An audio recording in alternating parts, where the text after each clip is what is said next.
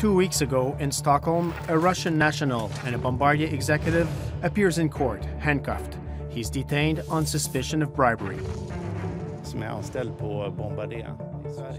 The Swedish National Anti-Corruption Unit's prosecutor believes he's been part of a bid rigging scheme that helped Bombardier Transportation get a public contract in Azerbaijan.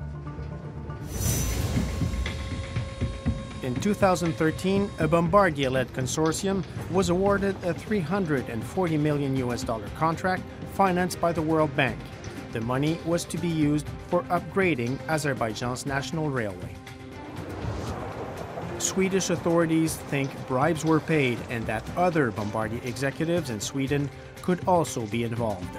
Our own investigation shows that the case has many ramifications.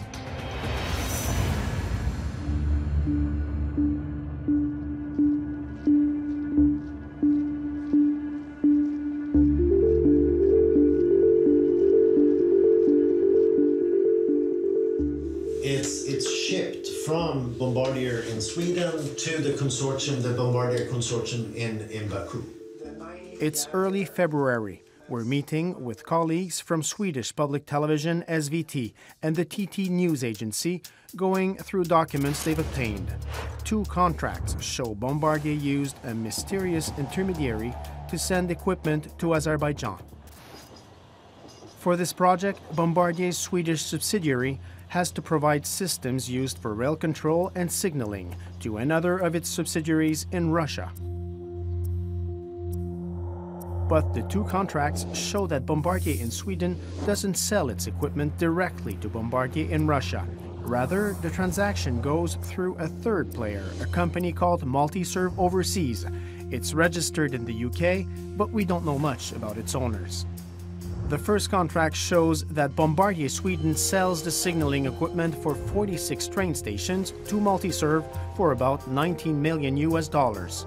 Then, Multiserve sells the same equipment to Bombardier Russia for over 104 million. That's an 85 million difference. Euh, Boyut Kesik Station. Boyut Kesik Station, je vais vous donner la dernière, moi, que j'ai. Keshley, Keshley Station? Station. C'est la même chose. Donc, on a vraiment les 46 mêmes stations. Là. Oui. Back in Montreal, we reviewed every detail of each of the two contracts, station by station, with the certified fraud examiner. Quand on regarde les deux contrats, When we take a look at both contracts, we see that there are no changes between them. I don't understand from an economic standpoint how we can end up with two identical contracts. Multiserve doesn't seem to have done much work.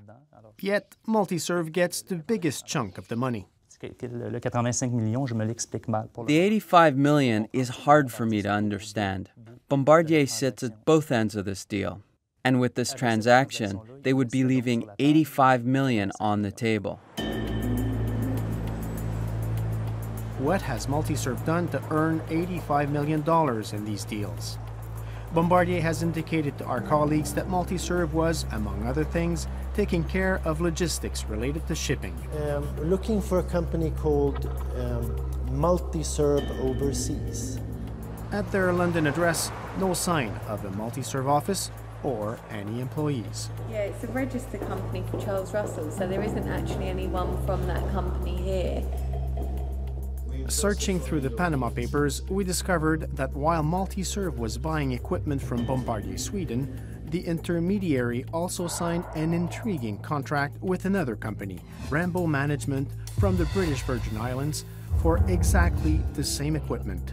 We can see 13 stations from the 46 listed in the contracts signed with Bombardier. Mais si Rambo, If Rambo provides the same units, it doesn't make sense. It's impossible. So that means that one of the two documents is a fake. One of them is a fake. un de ces deux documents-là est faux. So that means they can't coexist in the same accounting. Impossible. Impossible. When one looks at the payment timetable of all these transactions, the possible purpose of this contract with Rambo emerges. In April 2014, Multiserve is supposed to get an advance payment of $23 million from Bombardier's subsidiary in Russia. Within two weeks, Multiserve also promises to pay the same amount to Rambo Management. Ça veut donc dire que le profit reste pas dans Multiserve. That means that profits don't stay in Multiserve. They're funneled down into Rambo. Rambo's in the BVI, where the tax rate is almost zero for offshore companies. It becomes interesting to send profits in this company. Euh, ça devient intéressant d'envoyer un profit euh, dans cette compagnie-là. It doesn't end there. We found out that almost simultaneously, another shell company, Crownway Trade, with owners in Belize, is to receive in turn 15.8 million from Rambo. In Stockholm, the prosecutor for the anti-corruption unit believes Multiserve was used to pay bribes for the project in Azerbaijan. In emails from Bombardier filed in court, Bombardier employees are describing Multiserve as a shell with no true trading, a vehicle to siphon monies from the public sector into private pockets.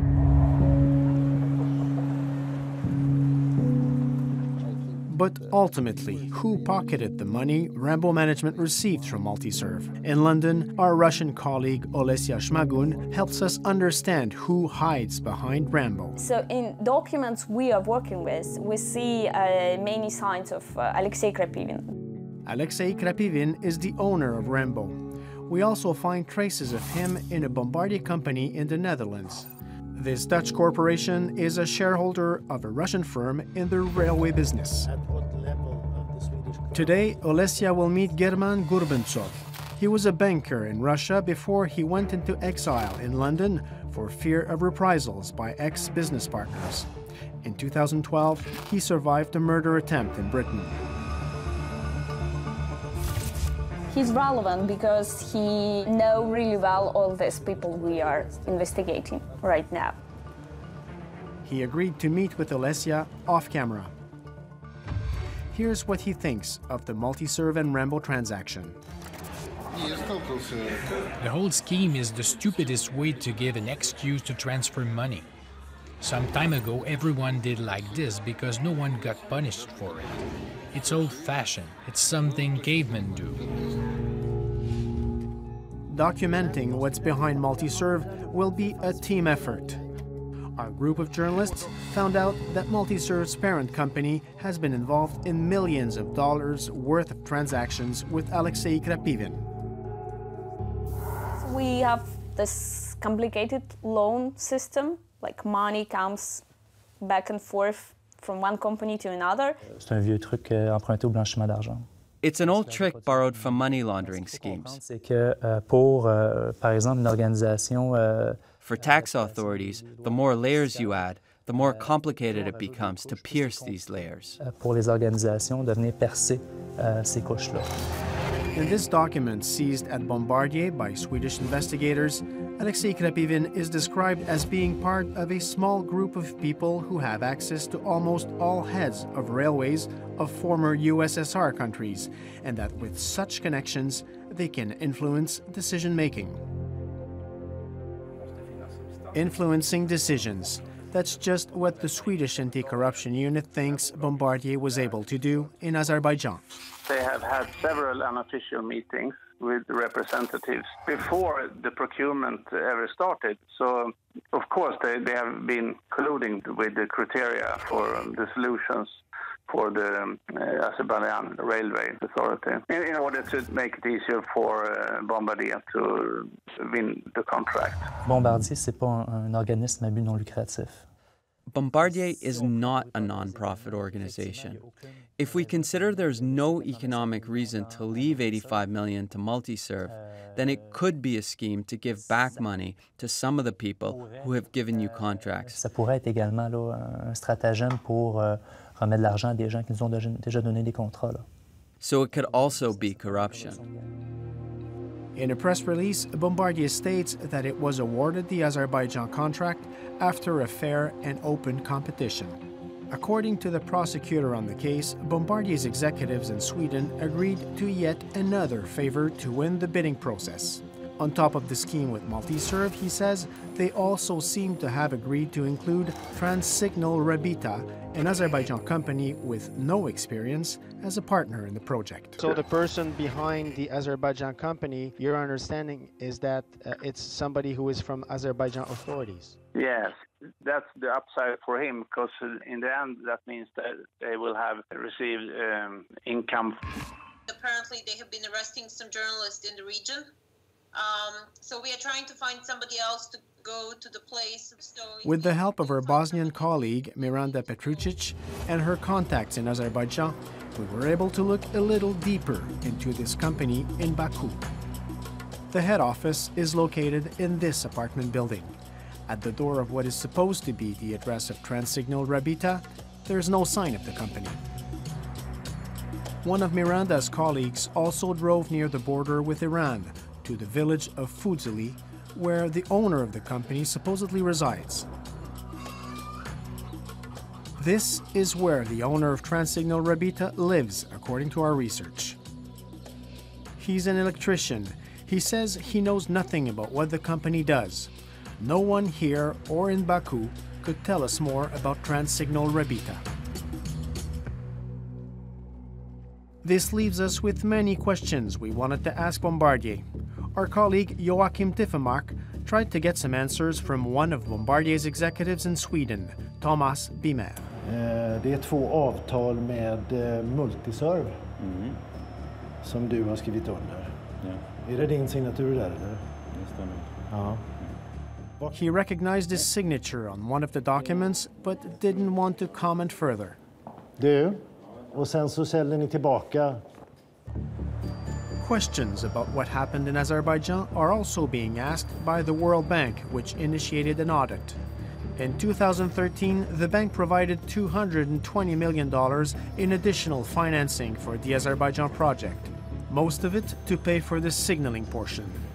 The 85 million that went to Multiserve represents more than a third of that total amount. Bombardier says it's taking the matter very seriously and assisting authorities. The company adds that it has no information thus far of any unlawful behavior and that they will take appropriate actions if they discover any. Back in Stockholm, the lawyer for the Bombardier executive arrested in Sweden says her client denies allegations made against him by authorities. As for prosecutor Forsberg, he's focusing his investigation for the time being on the Azerbaijan contract, but he is not closing any door as the investigation moves forward. It's not unusual in this kind of uh, investigation that we find other suspicions uh, or allegations that might lead us to, to open another investigation. Last December, the Globe and Mail newspaper revealed that Bombardier also used the Multiserve shell company in Russia. The purpose of Multiserve Our Swedish colleagues also obtained this contract relating to Mongolia. Dated February 2016, it shows Multiserve was still in Bombardier's plan until recently. In this case, as in many others, the story leads back here in Sweden. It's also here that the Swedish police investigation started, and for now, nobody knows where it will end.